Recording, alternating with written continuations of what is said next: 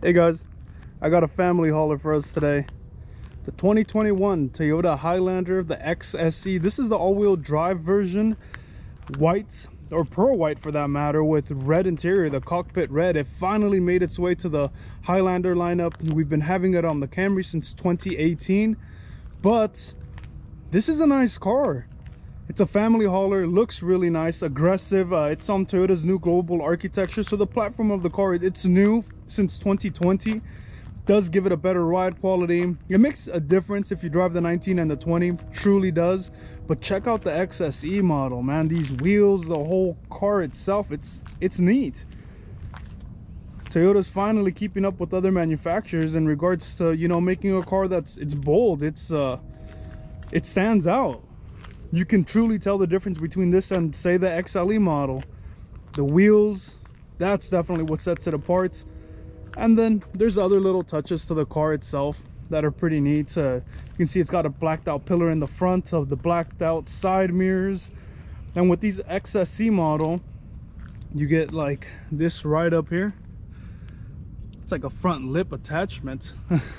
You get the blacked out grill up front Toyota Safety Sense 2.0 is coming with this one. So it's got it's actually got a little sensor a millimeter radargrammer built inside there. And you've got uh, a little camera right on top that helps you keep in inside the lane. But check out these it's the whole car the setup is it's nice. Definitely catches attention. Big massive wheels back here 20 inch wheels. And it's strange because they went back to this design where it's different you know it's black here and then it's got like the silver color out here. It's strange it catches attention but you know some other models now have like full blacked out wheels. Still cool regardless. Let's check inside see what you guys think.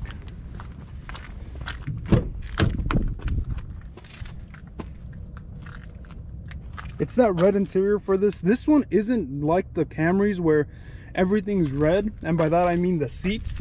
It's actually got a nice it's got a nice touch to it. It's black and then it's red inside so it's not a full full red. It'd be a bit too much i'd say. They did it right with this one. It's even got the red stitching up front so that's cool for sure.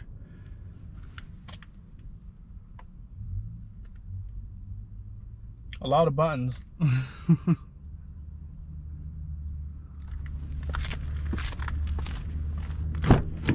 so about the xse model it's not like the xle or limiteds. It does not have an optional third row or pardon not third row but third seat in the second row so it's got captain's chairs back here. But with these captain's chairs you can actually still pull this little guy push that forward and you do have seats back here. So there it is there's a decent amount of space and I'll get to it in just a second but let's go ahead and click this. As it should power lift gates and this is one of the new versions of Toyota's power lift gates. Before they were slower and then on top of that uh, they had a few little not bugs. It's just if you press the button for it to go down uh, you'd really have to try for it to stop. So check this out. JBL premium audio. So you've got a subwoofer back here the sound system is crisp. It's a JBL with clarified technology. It's it's good. You got a couple of cup holders back here. These seats. There it is. Now the seating space isn't too bad but I'll show you guys soon. Again more cup holders. Storage space right under there. And it's got like holes right back here for the cargo cover nets so on and so forth it does have a spare tire guys. I will say check this out. There it is. So let's go ahead and close this up. Check this out. So if you want to actually set it at a certain height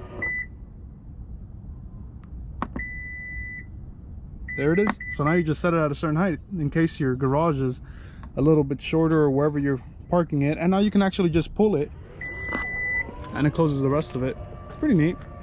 Blacked out package so it's got blacked out highlander blacked out toyota emblem blacked out xse all-wheel drive. You've got the backup camera right back here.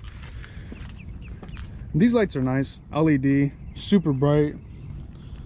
It's pretty cool the whole two-tone thing. You know it's black under and then it's got this little line going throughout the whole back.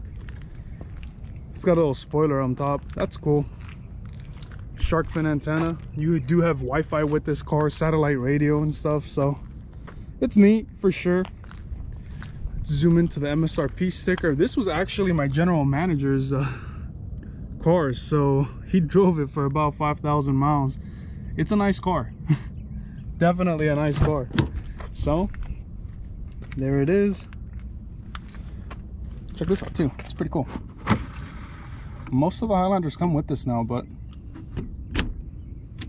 good for the kids. Let's see you do have blind spot monitor which is that little sensor right there and you've got the heated side mirrors.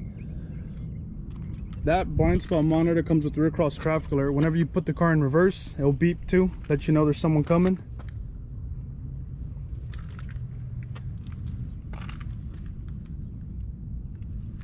Power passenger seat. No lumbar support though. It's got a good view even from the passenger angle for sure go into the driver's side show you guys what all the buttons do.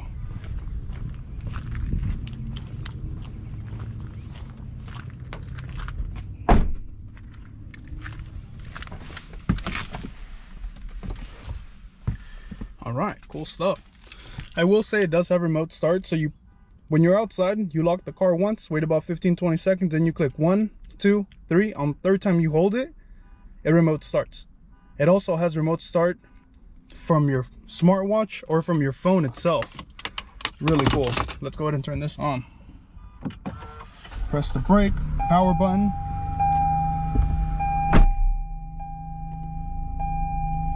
Big gauges right in front of your face, no digital gauges. It's, uh, straightforward. Let's see, you've got different driving modes, which I'll show you guys the buttons for. Go ahead and click down here. Ah, all the driving support. This does have lane departure alert, steering assist. It's got a couple of different uh, things you can choose from. Your music. This is information on the car itself. Tire pressure, the all-wheel drive system, the Toyota Safety Sense status, because it has pre-collision system. That's that big camera right up there. Blind spot monitor, the rear cross traffic alert I was mentioning and let's go down here to setup that's for your lane departure alert the pre-collision if you wanted to turn that on or off. Blind spot rear cross traffic that's a road sign assist so it tells you when there's a yield sign one way a stop sign. Different vehicle details up here so if you want to change the kilometers per hour instead this is your warning sign warning spot so in case anyone doesn't isn't buckled or a little tire that's uh, running low, that's where that's where it will be. And it'll pop up on the front of the screen anyways. Digital speed, I've had a lot of customers ask me how they can do that in case they don't want to just look over there. Fuel economy is okay in something like this, guys. Um, you will be getting about 22 23 miles per gallon 26 on the highway about 19 in the city 20 and i'm being conservative with the numbers toyota is usually conservative with their numbers as it, as it is as well you've got your lights auto fog lights are right here. You've got different little buttons here. That's for your auto high beams. That's for your power lift gates. If you ever wanted to change the odometer the trip and then the lights in the background if you wanted to have a more brightness less brightness. Fog lights. Cruise control is right here in case you want to turn that on. This is dynamic radar cruise control. So you turn this on you click set and uh, you can actually put it to how, how fast you want it to go. Click this little button here there it is. How much spaces you want between you and the car in front of you? One two three second intervals lane departure alerts for your media. The touchscreen is pretty nice. Let's go ahead and go back up here so you guys don't have a glare. Navigation. I'll tell you guys what. Let's move this car just a little bit to the side so you guys don't get that glare there. It is. cool stuff. I hope i fixed it. You've got different buttons here. You've got your heated seats. This is a alt for your ac so you can actually turn it off if you want to turn it back on.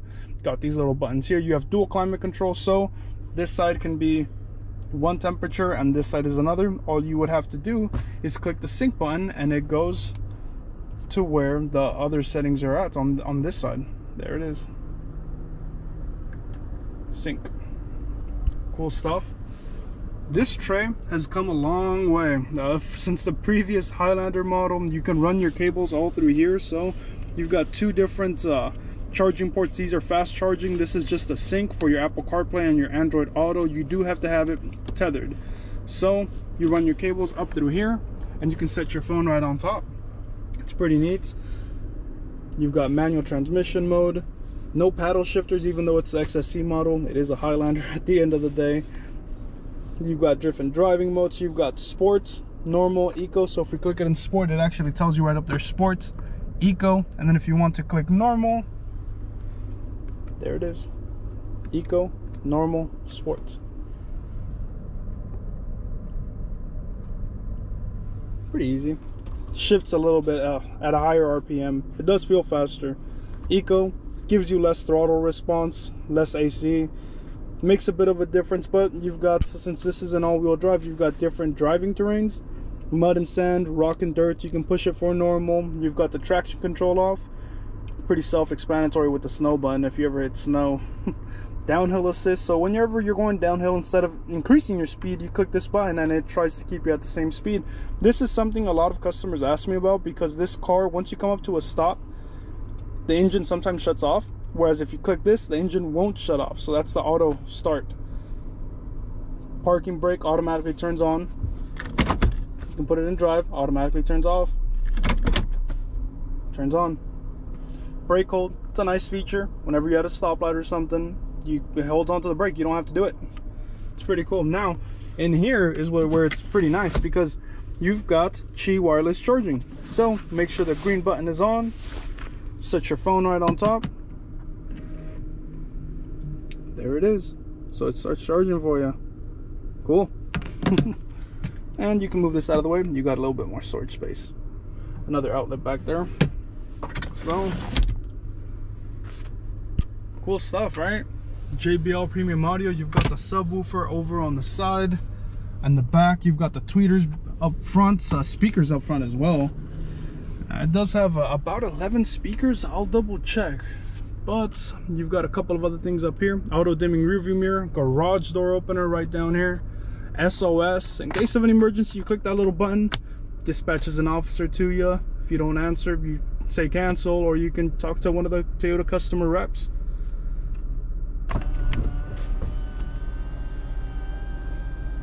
It's i'm a little sad they didn't come up with the panoramic roof but that's a different story. So go ahead and close that. Up tilts so on and so forth. Let's go ahead and close this up for your lights in, in the car itself. So this is on this side. No led lights huh? Turns on all the lights. There it is. Holder for your glasses and then cool. So check this out. You can move it up not all the way and voila you can talk to your kids and you don't have to look back. That's cool. So let's get out of here.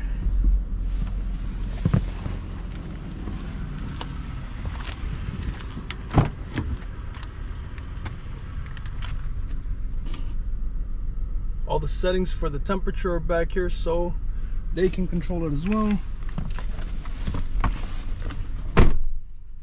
Decent space my seat was all the way back.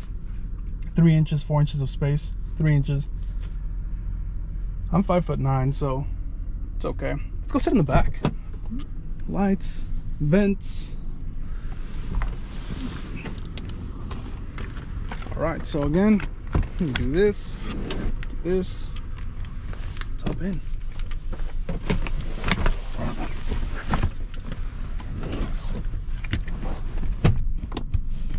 right. Well not ideal.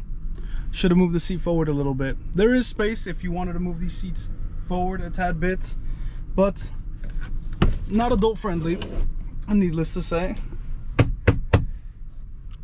It's pretty cool that it doesn't have this carpet back here. It's actually like a liner built-in liner. Cool. Child anchor seats. It's the small things that matter us americans love our drinks. All right